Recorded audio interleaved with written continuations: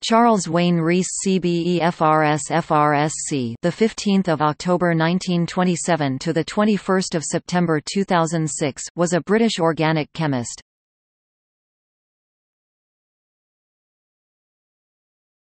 Topic: Early life and education. Rees was born in Egypt, but educated in England at Farnham Grammar School.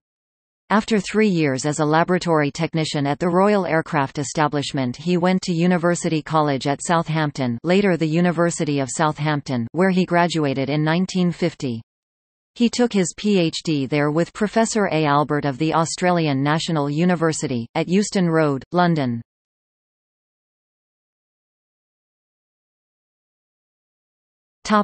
Career He was then appointed assistant lecturer at Birkbeck College, London in 1955 moving in at the bottom as Professor Derek Barton moved out at the top to take up the Regius Chair in Glasgow. After two years at Birkbeck, Dr. Rees moved to King's College London where he spent eight years as lecturer, reader. He collaborated for several years with Professor Donald Holroyd Hay on various aspects of heterocyclic chemistry. He was appointed to his first chair at the University of Leicester in 1965, and four years later moved to the University of Liverpool as Professor of Organic Chemistry, and in 1977 he succeeded Professor George Wallace Kenner there as Heath Harrison Professor of Organic Chemistry. In 1978, he was appointed Hofmann Professor of Organic Chemistry at Imperial College London and remained there until his retirement in 1993. Professor Rees' research interests ranged widely over mechanistic and synthetic organic chemistry. Much of his work was concerned with heterocyclic chemistry, particularly the synthesis and chemistry of new heterocyclic rings, with an emphasis on aromatic and antiaromatic rings, and the role of reactive intermediates in heterocyclic chemistry. Recently, he had been working on heterocyclic systems with unusually high proportions of nitrogen and sulfur heteroatoms. He published about 480 papers in the scientific literature.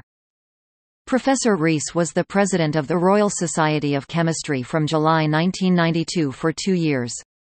He has served on its council and many boards and committees at various times. He was chair of the Publication and Information Board for four years.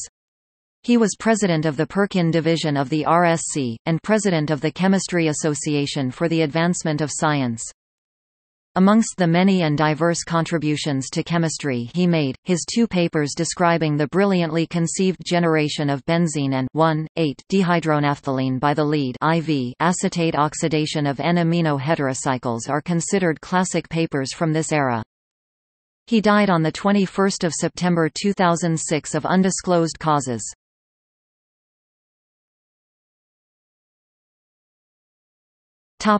Awards and honors He was the Royal Society of Chemistry's Tilden Lecturer in 1974, and the Pedler Lecturer in 1984, and received the first RSC Award in Heterocyclic Chemistry in 1980 and the International Award in Heterocyclic Chemistry in 1995. He was elected a Fellow of the Royal Society in 1974. He was awarded an honorary DSc, by the University of Leicester in 1994 and a CBE in the New Year's Honours List in 1995.